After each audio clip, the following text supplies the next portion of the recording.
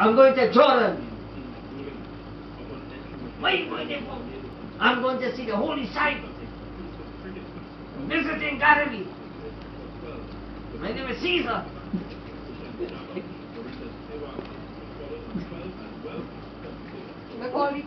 Who's your captain? Who's your captain?